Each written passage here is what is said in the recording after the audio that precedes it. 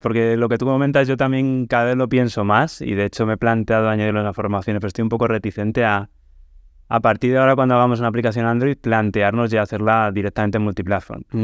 Y para eso necesitamos un stack de librerías multiplatform. Me gustaría saber un poco cuáles son las tuyas de, de preferencia.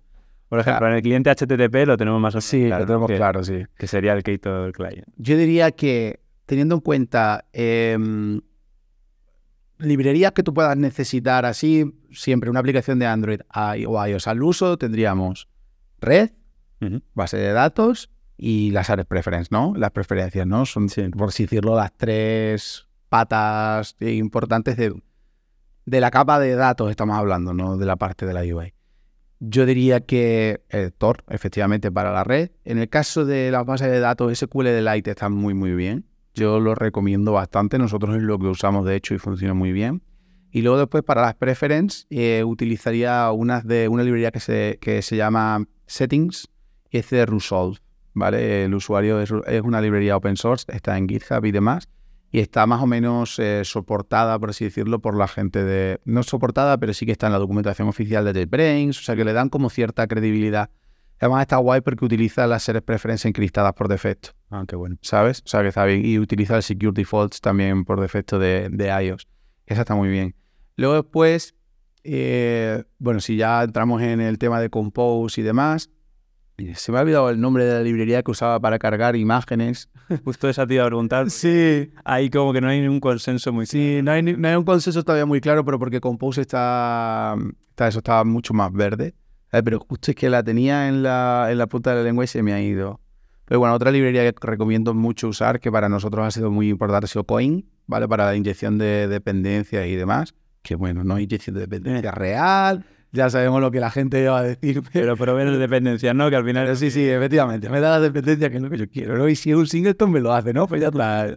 Sí, sí, Coin yo creo que es la que, la que más madura está. De hecho, nosotros empezamos usando Codein, pero cuando nos migramos a Kotlin Multiplatform, es verdad que la gente de Coin empezó a darle soporte desde antes. Y es verdad que con Coin está, está muy bien. Yo... Sí, además que el desarrollo es muy activo. Sí, ya, sí. ya han montado una empresa y todo Sí. con sus Sí, formaciones y tal, así que eso va a tirar para adelante. Sí, sí, sí, yo recomiendo Coin. Coin está muy bien para, para esto, para todo lo que es la inyección de dependencias y eso está muy bien. Luego, pues yo no sé, mm, nosotros antes usábamos un, eh, o sea, para el grueso de nuestras llamadas y demás, un IDER, directamente cogí la librería de Arrow, Ujú. le robé vilmente el IDER y lo hice multiplatform en su momento y demás, pero ahora sí que es cierto que estamos empezando a migrar un poco a poco al Kotlin Result, aunque no me acaba de gustar mucho que sean throwables y no errores que no pueda controlar yo. Entonces todavía estamos usando el líder, pero estamos investigando ahora sobre el Kotlin Result y demás, que no son librerías per se, pero creo que Arrow también es multiplatform ya. Eso te iba a preguntar, que no, no estoy seguro. Sí, yo... Me, me quiere sonar, pero... Sí, sí, a mí también igual. Me quiere sonar que Arrow ya es eh, multiplatform. Es que yo soy muy reticente, aunque sé que Arrow solamente, o sea, no tiene fricción ninguna y utiliza suspend functions y demás. No me gusta usar librerías porque tengo muy mala experiencia con RX Java, Mm. De que te secuestra la aplicación. Entonces, para estas cosas no me gusta usar librerías. O sea, nosotros usamos corrutinas Sí. para todo y ya está. Donde saltes de hilo, realmente a mí me da igual. Yo no soy tampoco muy purista en eso. Si quieres saltar de View Model, salta. Hay gente que salta al final del todo en el data source, pues eso da igual, pero es- usamos corrutinas. Mm. Nosotros para, para no usamos RX ni nada por el estilo porque no me apunta mucho. Dando el. Kotlin, pues... Y es que yo prefiero usar las funciones estándar del lenguaje que luego para librería las carga el diablo. Y a nivel de, de View Models, ¿habéis llegado a utilizar alguna librería o los habéis montado vosotros? No, nosotros tenemos nuestro View Model y lo que sí que hacemos es que el, tenemos un Platform View Model que llamamos, que lo que hace es heredar del View Model de Android en el caso del módulo multiplatform, en el módulo de Android, ¿sabes? Por el tema del Lifecycle y todas estas cosas para generar el scope, básicamente, ¿sabes? Sí. Pero, pero sí, sí, usamos nuestro... mm, Me gusta decir que usamos el View Model de Android porque no es real, pero sí que nos aprovechamos de las cosas del View Model de Android, ¿sabes? Sí. Pero, pero eso nosotros, no, para View Models, eh, al final tampoco... no es que yo sea un hater de usar librerías, pero yo uso librerías que me aporten, ¿sabes? Por ejemplo, en, en UI sí que me gusta usar librería porque hay gente que se ha currado muchísimo una animación o lo que sea, que me va a currar yo otra vez. Pero cuando es que soy muy esto de la lógica, como te decía antes, ¿sabes? Y sí que estoy como una línea roja, ¿sabes? Me gusta tener, por así decirlo, el control de, de nuestra lógica y no depender de externos, ¿sabes? Y la navegación entiendo que ya la dejáis a la parte nativa, ¿no? Sí, no, últimamente, sí, últimamente, a ver, lo de la navegación es un tema interesante, porque con Model View Presenter sí que está muy claro, o sea, para mí, o la forma legacy de navegar está muy claro, pero ahora con Compose es como que se ha diluido un poco, es cierto que tenemos el Navigation Graph, pero no me acaba de convencer mucho. Es duro, es duro. Y entonces que con Compose, en verdad, si quisiera, hasta te podría hacerlo todo, ¿sabes? O sea, te podrías hacer tu propia navegación si quieres. Pero lo que hemos hecho nosotros ha sido crearnos un navigator que llamamos para cambiar el navigation graph y lo hacemos desde los view models, ¿sabes? Mm. Al menos en una aplicación, en la última que hemos hecho, lo hemos hecho así para probar y el resultado me está gustando. O sea, no me, no me disgusta. Además, es una aplicación que es un poco más compleja, de la que por desgracia no puedo hablar por el NDA. Pero es mucho más compleja, no va ni siquiera en un móvil y demás, es más complicada. Y ahí sí que me ha gustado, me ha gustado el tema este que hemos hecho así con un navigator, más estilo antigua usanza, por así decirlo, pero usando el navigation graph, pero abstrayéndonos mucho de él, ¿sabes? Dejándolo ahí en plan como muy acotadito y eso. Sí, pero imagino que si la UI de iOS es en nativo, no valdrá el mismo código. Claro, efectivamente. Por eso te, lo que te digo, hemos creado el Navigator ese, que luego después en iOS implementa como se implementa de otra forma y ya está, porque bueno, la, la UI de iOS también es bastante rara la navegación. La navegación yo creo que es el talón de Aquiles de las UI declarativas. no talón de Aquiles, pero a lo mejor algo que no está muy pulido todavía, ¿sabes? Y una librería que he probado y que me gusta mucho, que te incluye tanto la navegación como los view models, es la del Voyager. Pero claro, mm. para eso tiene que ser todo en Compose. Sí, efectivamente. De Compose también eh, la, he estado viendo y demás. Sí, sí, sí.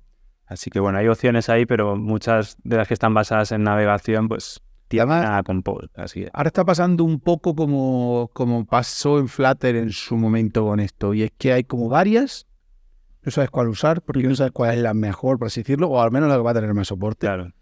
Entonces está, claro, aquí es lo que dices tú, está muy enfocado a Compose. Compose Multiplatform también está ahora en fase de expansión, están en alfa y demás. Entonces, y yo soy un poquito más cauto todavía y yo prefiero hacerlo. Tener el control total tú. Sí, sí, sí. De momento sí. Y en tema de testing, sobre todo hablo de la parte eh, multiplataforma. Eh, ¿Qué herramientas tienes ahí? Nosotros depende mucho del proyecto. De hecho, hay proyectos en los que directamente nos hacemos la implementación nosotros para no usar librerías de test, porque, bueno, la CI, por ejemplo, no te lo permite, ¿sabes? O por el motivo que sea.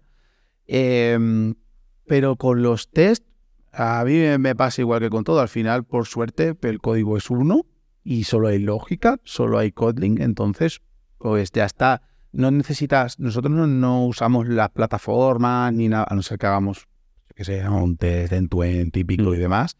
Pero ahí, no, yo es que las librerías de mocking y demás, no sé si yo tampoco te creas muy, muy fan. Lo único que sí que usamos, pero claro, esto ya es más de la parte de Android o iOS, eh, estamos ahora con el screenshot testing y demás, así un poco, pero claro, eso ya era de la plataforma, no de la parte multiplaza. la parte multiplatform son unit test. Sí. Entonces, si no, no moqueas, en realidad no te falta ninguna librería, más allá de a lo mejor la de corrutinas. No, además, nosotros es que hacemos una cosa, porque yo he tenido muchos traumas con el backend, ¿vale? No sé si la gente lo habrá tenido, pero yo he tenido muchos traumas con el backend. Entonces, nosotros de base siempre creamos unos mock data source, siempre, siempre. Ya sea porque necesitamos un cliente HTTP y usando la librería de HTTP o devolviendo el JSON a pelo. O sea, me da igual que ese fichero tenga 2000 líneas, pero yo quiero un mock data source, siempre, ¿sabes? Pero no para testing, sino para generar una APK de mock, ¿sabes? Directamente. que, pueda, que pueda yo trabajar o que yo se la pueda dar a testing para que compruebe la diferencia entre una y otra, porque con la API, con las APIs, con el backend, te digo, he tenido malas experiencias casi siempre. Entonces, Lo siento, gente de backend, pero, pero, pero sí, sí, por eso. Entonces, los mocks, yo, ¿para qué quiero inyectar un mock? Si realmente ya tengo una clase mock data source, pues la uso y ya está, ¿sabes? Mm. Entonces, con el tema de mocks y demás, no, mm, no hemos usado mucho, o sea, unit test y ya está. Y cuanto más unit test, unit test, mejor en el sentido no de mm, al peso, sino en el sentido de que quiere decir que no necesitas a la plataforma, ¿sabes? Y puedes hacerlo sin necesitar a la plataforma, ¿sabes?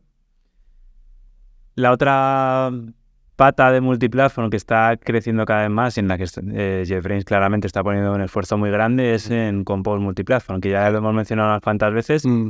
y me gustaría saber hasta dónde habéis, os habéis adentrado en esta tecnología, si estáis planteando usarla o no. Nosotros ahora mismo estamos en fase de POC, ¿vale? Por así decirlo. La estamos probando y me gusta. O sea, a mí me gusta bastante lo que están haciendo. Para que no lo sepa, básicamente están replicando la API. Están intentando replicar la API al 100% de Compose, quiero decir. Sí, Jetpack Compose, para el que no lo conozca, pues es la librería de interfaces declarativas de Android. Sí, el UI de Android o el React Native, bueno, el React... El, Flutter de, de, Flutter, el Flutter de Dart. Oh, sí, sí, mm. efectivamente, sí. Exacto. Y todos están replicando la API. Yo he probado a hacer, por ejemplo, animaciones complejas y a coger un proyecto que tenemos en Compose y llevármelo al módulo común y demás. Y de momento funciona. ¿Lo usaría en producción? No, no creo que sea lo mismo que, que Code Multiplatform sin Compose. No creo que sea lo mismo, ¿sabes? Mm. Porque es cierto que la UI ya... Eh, el usuario hace cosas ahí, ¿sabes? El usuario toca, el usuario hace cosas. Sí, que es la vía de entrada principal para el usuario y... más delicado, ¿sabes? Pero nosotros estamos en fase de POC. Probablemente lo primero que haremos será lo que hicimos en su momento. Pues haremos una prueba y demás, pero creo que ahí tampoco tenemos tanta necesidad, ¿sabes? Pero creo que ahí esperaremos un poquito más. Quizás no a la alfa, sino a la beta. sí, porque la alfa de iOS ya está. Sí, sí, sí, por eso digo, no a la alfa, pero a la beta. Pero funciona muy bien, ya os digo, o sea, ya... Yo ya lo he probado con sobre todo esas animaciones entre, entre pantallas complejas y demás. Funciona guay, sí, sí. Hasta hace no mucho había problemillas porque había algunos componentes que obligatoriamente te tenías que ir a la plataforma a implementarlo. No recuerdo cuáles eran, si diálogos o otros. Sí, sí. sí, había varios que se usan muy a menudo y mm. que realmente era un rollo el tener que sí. en distintas plataformas. Pero eso ya lo han solucionado en las últimas versiones y, está bastante bien. Eh, sí que es verdad que iOS está en alfa, pero mm. sospecho que le están cogiendo un ritmo a esto. Sí, sí, tenemos la beta bastante pronto. Sí, sí, lo que te decía también ahora de las previews, que también está un poco raro y eso ahora. Pero yo creo que sí, coincido totalmente contigo en que esto han puesto, han pisado el pie y cuando pisan el pie van con todo, ¿eh? Y, además Google también está colaborando en eso. Sí. No, no solo JetBrains. O sea, Google también está... Sí, de hecho hay proyectos grandes. Sí, sí. Creo recordar que alguno relacionado con eh, la la suite de ofimática de, Google. que la estaban, estaban haciendo aplicaciones nativas para distintas plataformas y la estaban haciendo con multiplatform. Así que bueno, se están metiendo ahí también. Sí, sí, sí, sí, sí. De hecho, yo siempre le he preguntado a alguna gente de Google, que tú también conoces, por supuesto, bueno, pero esto de Compose, y nunca te decían que no, ¿sabes? Siempre era como, bueno, sí, está ahí, no sabemos JetBrains, no sé qué. Ya, Colvin, ¿no te refieres a Claro, sí, sí, como, sí, sí, sí, sí. Y al final Sí, sí, sí, sí. Yo que estaba ahí dentro no lo supe hasta el día que lo presentaron. ¿eh? que tuve... ¿Sí? ¿En serio? No tuve información pues, previa. Pues sí, sí.